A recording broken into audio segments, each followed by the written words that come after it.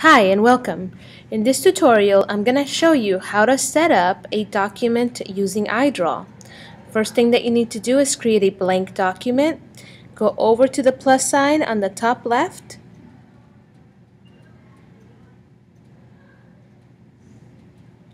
And go ahead and click on that plus sign. That will create a blank document. Once you have created a blank document, you have the option to name that document by double clicking on the name. Go ahead and enter a name and hit done when you are finished. The next thing that we're going to do is open the document by tapping on it. So we're going to go ahead and click on that new document. Once your new document is open, we're going to proceed to change the settings for that document. On the top right, you're going to see several options. Um, go ahead and click on the gear icon The gear icon allows you to change the uh, settings for your particular document. First thing that we're going to set up is what type of scale your document uses. We're going to go ahead and change this scale to inches. So go ahead and click on the gear, click on units and scale, and change that to inches. We use inches whenever we're going to be printing a document. We would use pixels if the document is only for internet use. Go ahead and hit back. Next thing that we're going to do is set the document height and width. Go ahead and click on width. And for our document, we're going to go ahead and put 12 inches high by 12 inches tall. So hit clear, put 12 inches, click your check mark, and then on your height, do the same thing. When you have set up both the height and the width, the next thing that we're going to do is set up our guides and our, our grids and our rulers. Go ahead and click on grid and rulers. And we want to click on show grid. Next thing that we're going to do is set up how your grid looks. So click on grid spacing we're going to go ahead and change how big these rectangles, these little squares are. So go ahead and click on the X, the horizontal spacing, hit clear. For our grid, we're going to set it up to 0.125. So click clear and click 0.125. Click check mark. Click your vertical spacing to 0.125, click your check mark. The next thing that we're going to change is how many uh, little squares there are between the thicker lines. We're going to go ahead and set that up to four lines between, um, four squares between lines. So go to where it says step and change that to four. When you are finished, hit back. At the bottom of your menu, you have the choice to show your rulers. Go ahead and click that so that your rulers will show.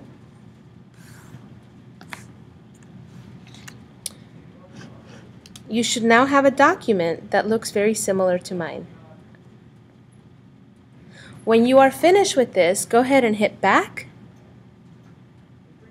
and click Save. The next thing that we're going to do is set up a series of lines that are going to help us to center our documents. When we are finished, your document will look like this.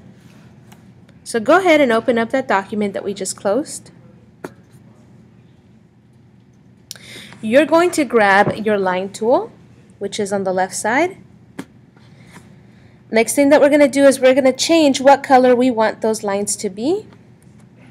Um, you're going to go down to the bottom where you see your stroke color and your fill color.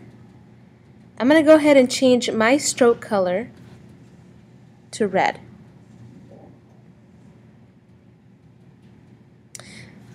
The fill color you can leave, leave alone.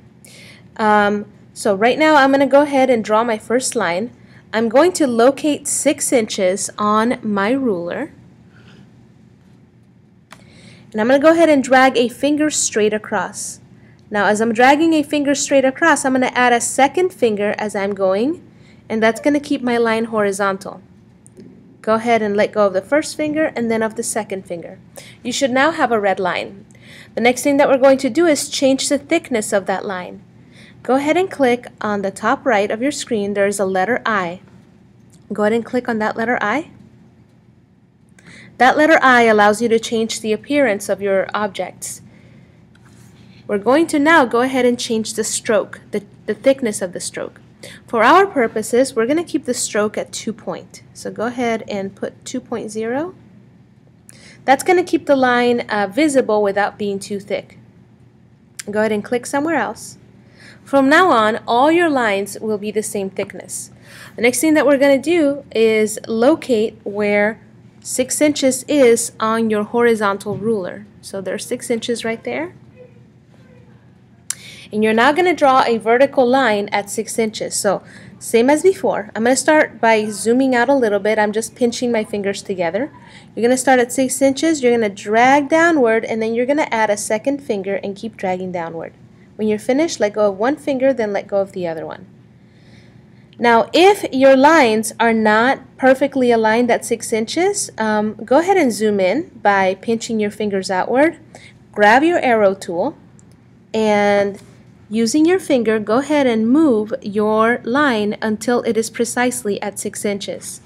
I want to point out that when things are centered, you will see this orange line show up. This orange line shows you that you have centered that line go ahead and let go. Because our document measures 12 by 12 inches, the center is at 6 inches. Um, those are called smart guides. A smart guide will show up whenever you are centering something. Okay, I'm now going to click on my other line, and I'm going to do the same thing. I'm going to click on it with my finger. I'm going to go ahead and drag it upward until it is precisely at 6 inches. And I know it's centered because I will see that orange line show up right there. Go ahead and let go. Okay. At this point, you should have an X and a Y axis on your document. The next thing that we're going to do is set up two diagonal lines in this direction and in this direction going from corner to corner. Go ahead and click on your arrow tool. Starting from the bottom left, you're going to go ahead and drag your finger and as you're going, Go ahead and add a second finger and that will help you to create a 45 degree line. And as you can see, mine is not at 45 degrees, so I'm going to go ahead and redo it. It helps to zoom out a little bit. So go ahead and go across, add a second finger, and then keep dragging across. Let go of the first finger, let go of the second finger. That line is at 45 degrees now. I'm going to go ahead and pinch inward, and I'm going to make sure that the center of my lines completely intersect with each other. Grab your arrow tool and go ahead and move that line until it crosses the center of all your lines. And you can do this by zooming in very close. Okay. I am now going to create another line that goes from this corner to this corner. Go ahead and grab your arrow, your line tool, Starting on the bottom right, you're going to do the same thing. This time though, instead of making a 45 degree line, it will say 135 degrees. That's because you are going in the opposite direction. So, go ahead and zoom out a little bit. Start here. And go ahead and drag two fingers straight across. Let go of one finger, let go of the other finger. As before, we're going to go ahead and zoom in and we're going to make sure that that line precisely crosses the center. So go ahead and grab your arrow tool, grab that line, and move it so that it crosses all your lines. The other thing you need to do is check that your lines actually cross the corners. If your lines cross the corners, you know that you have placed your lines in the correct place. When you are finished, your document should look like this. The last step that we're going to do is to name your layers. So go over to your layers, which are on the top right. Click on that. We're going to go ahead and rename this layer. Double click on it. We're going to go ahead and call this one grid lines. When you're finished, hit return. Your document is now set up so that you can go ahead and center objects very easily by using this as a reference. Keep in mind that you want to keep your grid lines, you want to keep this layer on top of every other layer that you create. When you create a layer, click on the plus sign on the top right and make sure to move that layer below your grid lines. Click on it, drag it downward, and now it should be below your grid lines. For example, if I create a circle,